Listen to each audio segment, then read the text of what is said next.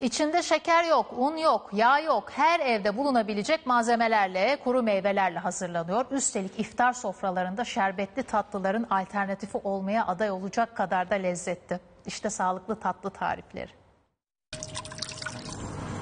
Ramazan olduğu için herkes evinde hurma var. Her Ramazan ayında baş tacı şerbetli baklavalar, şerbetli tatlılar. Ama bu tarif benim tatlım daha sağlıklı, şekersiz olsun diyenler için işte 3 baharatlı, sütlü hurma tatlısı. Hurmaların çekirdeği çıkarılacak. Peki ama nasıl yapılıyor? İşte tarifi. Önce süt tencereye alınıyor, kaynayınca içine hurmalar ekleniyor. Hurmayı sütle beraber bir 5-10 dakika kaynattık.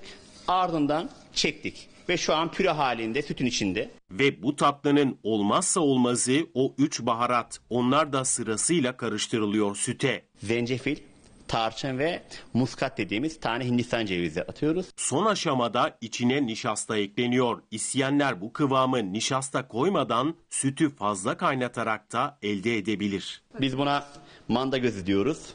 Böyle şu an kıvam oldu. İçinde yağ yok, şeker yok. İşte bakın 3 baharatlı sütlü hurma tatlımız hazır. Son dokunuş olarak da üzerine biraz kavrulmuş kadayıf ekleniyor. Bu tatlı da iftar sofralarına yakışacak türden. E, kuru kayısı var. Bir gün önceden ıslan- ıslatılması lazım ve şişmesi lazım. Adı peynirli kayısı dolması. Peynirimizi önce bir kaba aldık. 3 yemek kaşığı ceviz koyuyoruz. Önce iç harcı hazırlanıyor. Doldurulan kayısılar tek tek tavaya diziliyor. Ocağa alıyoruz. Sütümüzü ekliyoruz.